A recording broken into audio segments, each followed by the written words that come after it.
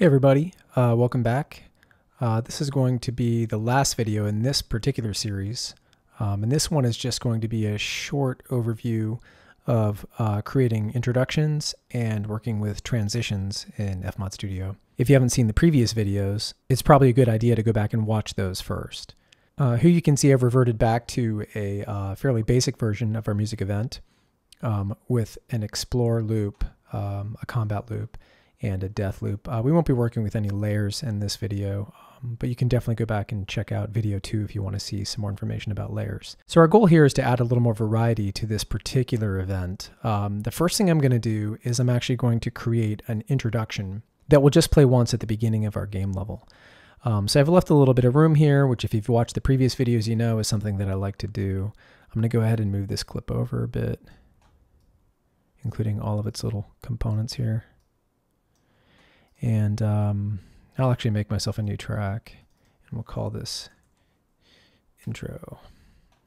And I'm going to rename this marker to explore, or some people like to use the term idle. Note that when I rename the marker, the transition that goes back to that marker is automatically renamed as well. So that's a really cool thing. Okay, so I've got an introductory clip here, and I really just want this to play once at the beginning. And I'll go ahead and create a fade in at the beginning of this clip.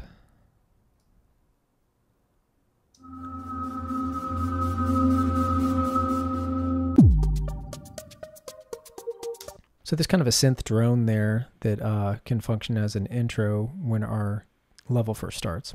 The next thing I'm going to do is create some transitions that will accentuate and give a little bit of variety to the transitions between our explore and combat loops.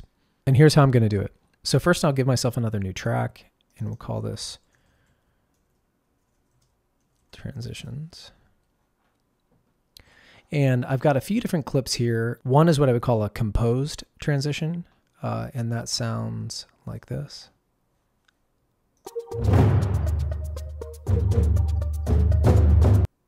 And that's meant to be the transition that you'll hear when we go from Explore into Combat. So a neat thing that was introduced in Fmod Studio 1.06 uh, is something called transition timelines. And what that enables me to do is to create a timeline that's sort of a, a, secondary timeline that's not part of the main timeline, where I can insert clips that will only play when the transition is executed. So here's how I do this. If I double click on this to combat transition flag that you see here, it will actually open up a sort of hidden part of the timeline. And you can see that it automatically gives me four bars here. Um, I can resize this to be any length that I want. But before we do that, let's go ahead and drop our trans combat clip in here. Okay. And you can see it's two bars long. So I'm going to go ahead and shrink this down to be exactly two bars. Now watch how this is going to work. It's pretty neat. We'll go ahead and play through the intro and then uh, we'll loop through once with enemies at zero and then we'll jump to combat. Here we go.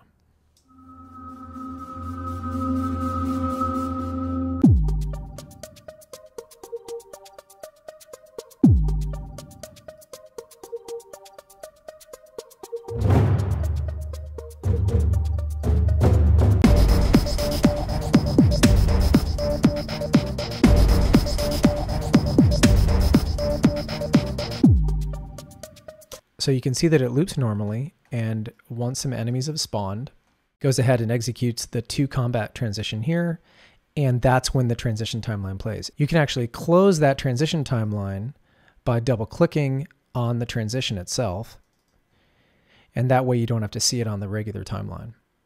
Okay, so that's what I would call a composed transition where it's actually uh, tied into the music. What I'm going to do now is I'm actually going to create a transition that plays when we go from combat back to the exploratory loop. So I'll double click again. You can see to explore. I get the four bar transition timeline. And I'm actually going to use a couple of sound effects. So these are what I would call effects transitions. Um, and these are pretty over the top, uh, just to, to use as an example here. Um, and here's what the first one sounds like.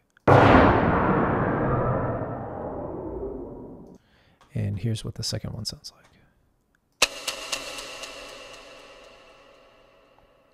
Okay, so I'm to expand this out a little bit. And then I'm going to grab the two clips and drop them onto the transition track. Okay, and I really just want that to be two bars long as well, so I'll trim it down. And then I'm going to trim the transition region itself down to be only two bars long.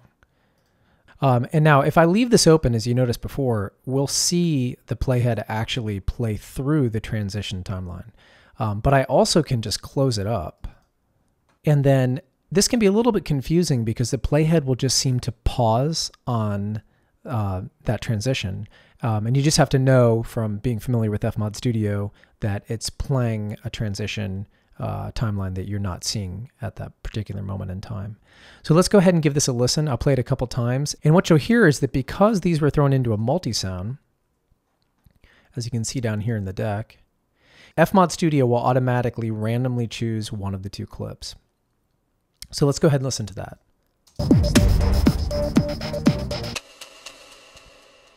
So there's the tick-tock sound.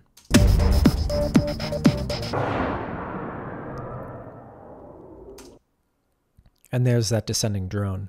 If I double click on the to explore transition, the transition timeline will function the same way, but you won't see it actually working.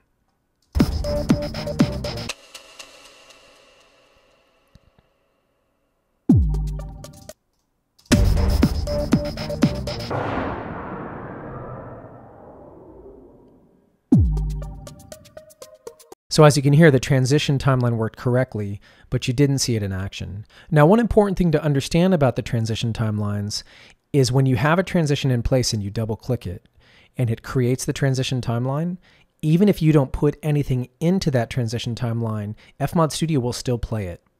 Okay, so this can lead to some confusion for sure. And now if I double click to close that transition timeline, it may seem like it won't play because you didn't bother to put any clips in there, but it actually will. And the only way that you know that transition timeline even exists is this little dot that you can see there in the transition. So if you want to get rid of that, what you need to do is double click, open the transition timeline again, and then collapse it all the way down. And now you'll see the little dot goes away and there's no hidden transition timeline underneath there. So again, this can be a very confusing thing, and it's definitely something that's important to understand about Fmod Studio. Okay, so let's go ahead and test out our entire event one more time before we go over and look at it in our game.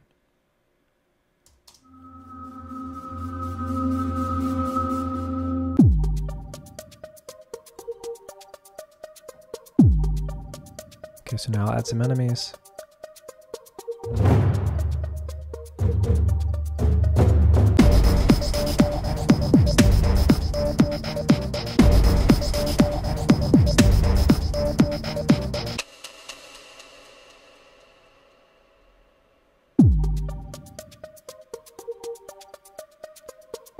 Go ahead and do that one more time.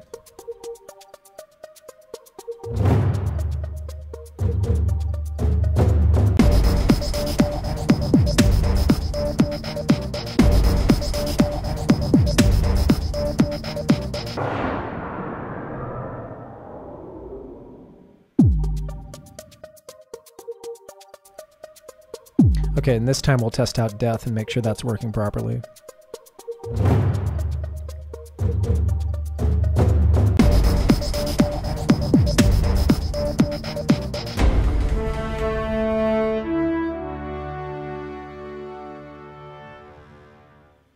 Okay, so everything seems to be working properly. Let's go ahead and check it out in our game.